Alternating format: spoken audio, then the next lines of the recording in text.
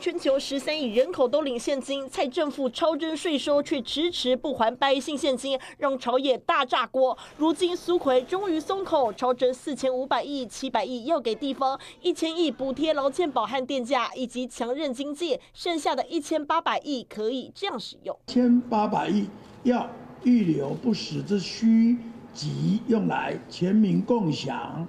我们规划用花现金的方式，这要有法源的根据和预算的编列，经立法院的同意，不是私下。哎，发红包说要做好整体规划，但还税于民发现金还要等多久？蓝军喊话过年前发，让百姓能过个好年。要把这个球做给新的阁魁，因此他用各种的方式在拖延。过年呢，只有半个月的时间，只要想要做一个礼拜十天，就可以完全完成这个立法相关的作业。政府超征税收，蔡英文元旦强调钱要花在刀口上，先是说不考虑普发现金，随后却抛文发春联。发红包袋，惹得网友痛骂，拿我税金作秀搞宣传，女皇当导览员比当总统还开心。还有人抢，多拿我的钱可以还了没？执政党的刀口是放在自己口袋吗？不发现金，不还税于民。